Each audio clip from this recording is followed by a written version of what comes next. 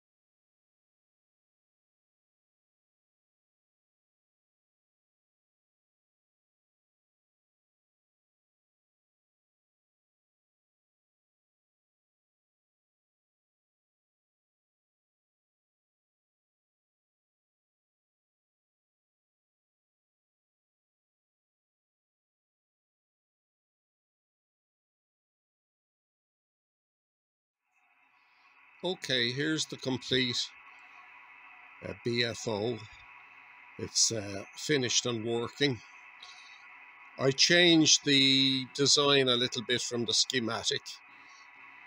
I rewound the coil on a an FT 50 mix 61 toroid and the total number of turns were 42, tapped at 10 for feedback. By trial and error, I found that the capacitance required was about 120 picofarad, and I also added a trimmer capacitor there to bring the frequency within the 455 kilohertz plus or minus range. The FET there is an MPF 102, the ubiquitous F, uh, MPF 102. Uh, any other uh, similar uh, FET would do the job. I just happen to have this one in stock. I was going to use a uh, 2N3819 because I had plenty of those, but uh, I had a few of the MPF 102, so I used them, or I used this one instead. The control board is on the left it has a dual purpose. There is a voltage regulator uh, here, the LM317, and I have the voltage set at about 7 volts, I think. It, it's there or thereabouts. And the input at the moment is 12 volts, so the uh, the control voltage there, or the voltage for the BFO is 12 volts. Uh, I also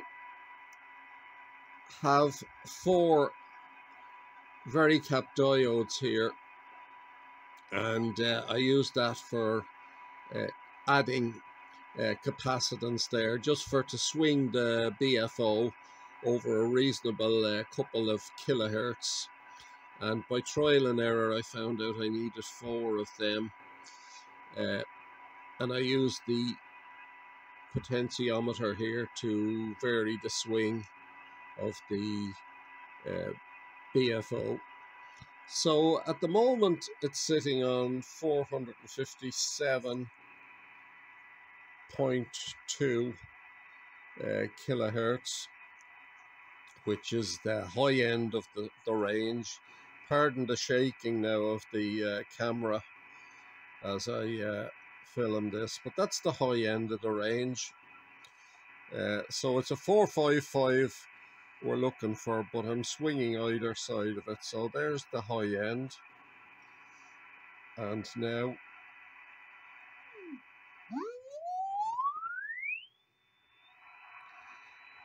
it goes down there to 451. So it's a range of about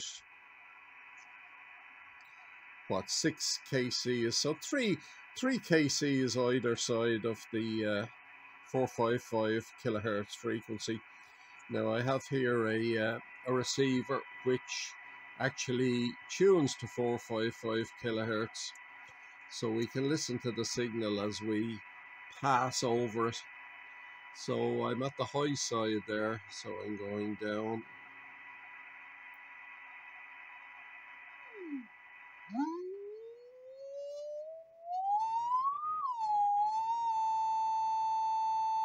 And it's fairly stable the oscillator.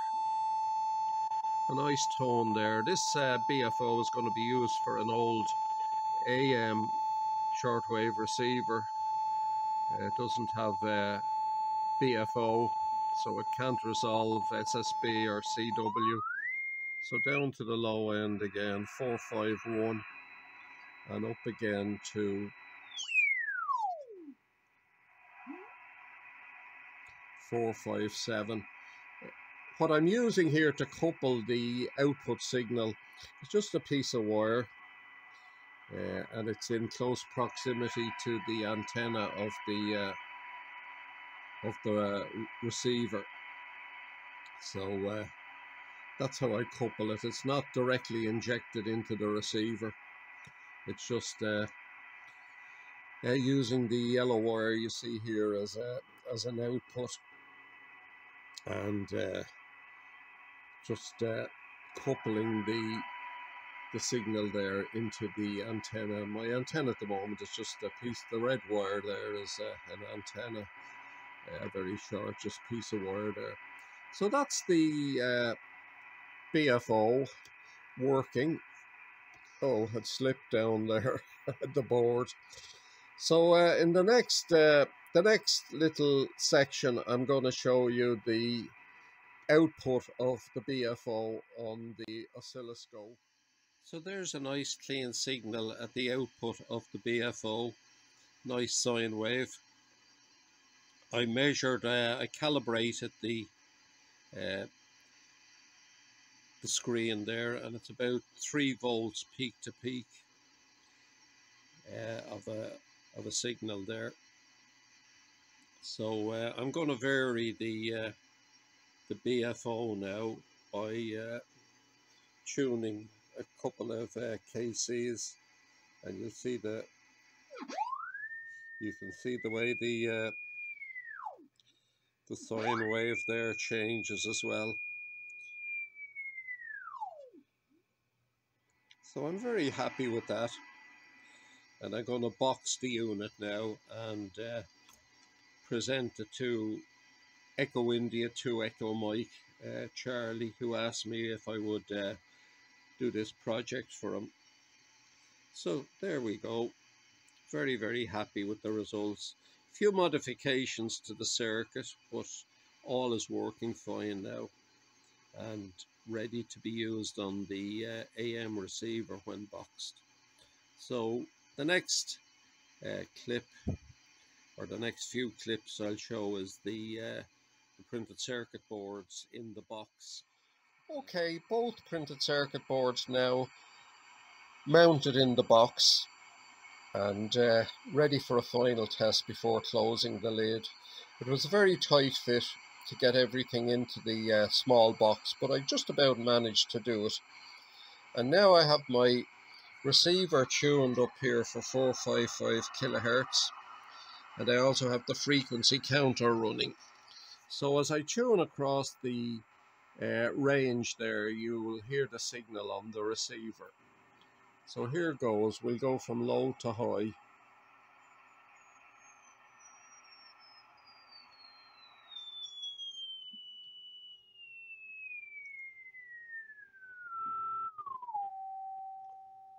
So 457, uh, nearly 458. Yeah, there's 458. Down as far as uh, 451 and a bit, or 452. So quite adequate range there to uh, resolve signals on the AM receiver uh, with the BFO. So that's it.